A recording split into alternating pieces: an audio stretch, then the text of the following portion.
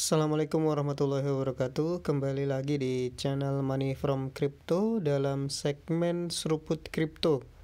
Hari ini tanggal 26 Mei tahun 2022 Kita akan membahas tentang airdropnya Dari koin Luna Atau Terra 2.0 ya. Jadi dengan kolapsnya Luna dan USD kemarin maka dibuatlah koin baru yaitu Terra 2.0 yang akan disebut Luna ya. Terus yang koin lama itu akan disebut Luna Classic. Check it out. Nah, di sini kita lihat bahwa Luna 2.0 hampir tiba ya. Sebagai jaringan milik komunitas, Terra akan memiliki token staking asli yaitu Luna yang diturunkan ke komunitasnya seperti yang dijelaskan dalam proposal 1623. Kita cek ya proposalnya ya. Nah, di sini kita uh, berada di websitenya station.terra.money ya.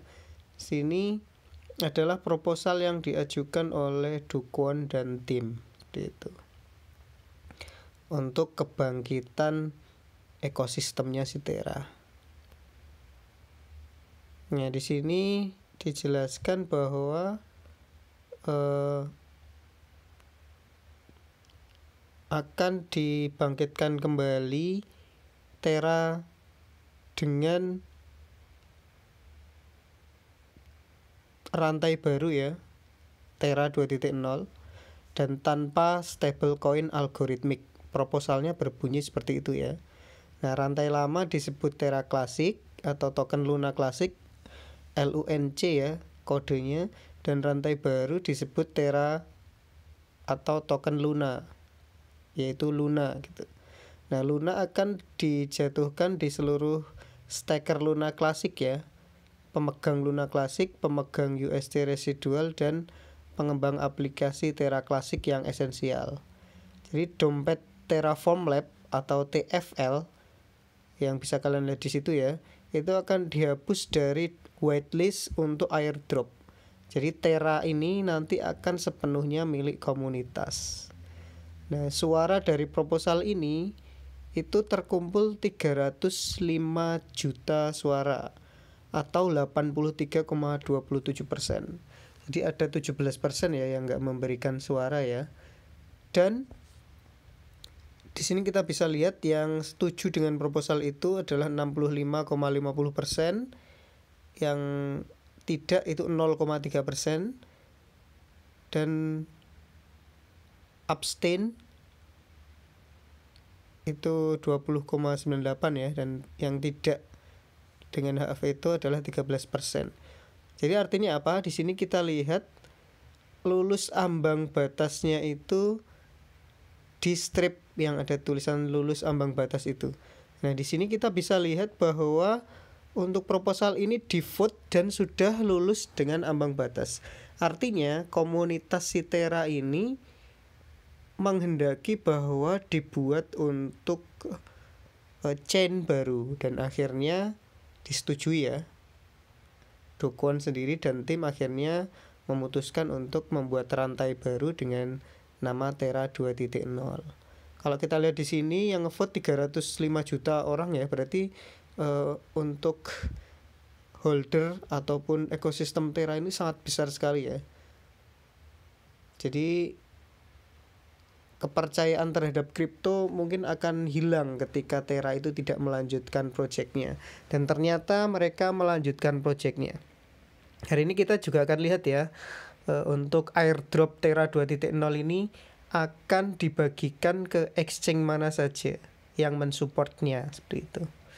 Nah, kita kembali lagi ke artikelnya Terra ini ya. Jadi setelah Genesis pada 27 Mei 2022, pemegang LUNC, USTC dan AUST itu yang memenuhi syarat akan di airdropkan Luna di rantai baru. Diberi airdrop Luna ya nanti mereka. Nah, jadwalnya kapan? Dapat dilihat di bawah ya. Nah, airdrop dari Luna ini atau Terra 2.0 yang paling baru, ekosistemnya Terra 2.0 ya. Jumlah Luna yang berhak diterima akan ditentukan oleh jenis token yang dipegang di rantai Terra Classic.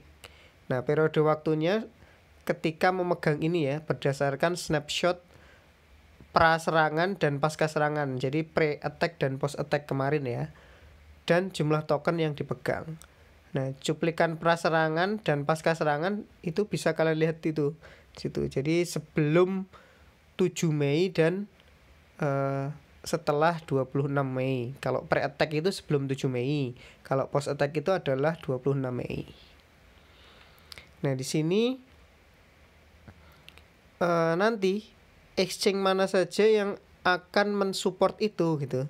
Jadi nanti kemungkinan besar ya atau kemungkinan ketika kalian punya token Luna dengan sebelum dan sesudah penyerangan atau runtuhnya Luna klasik kemarin itu akan dapat airdrop gitu ya.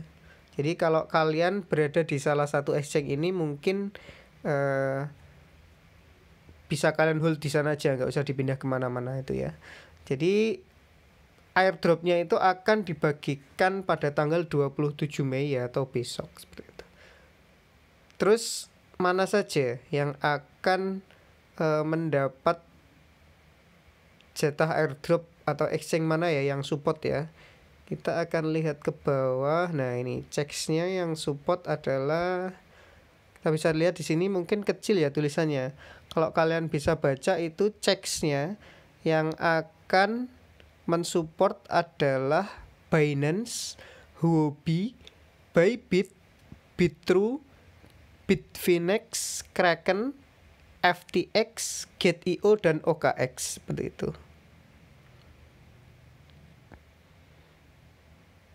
Nah mungkin itu ya yang bisa kita lihat ya exchange-nya ya.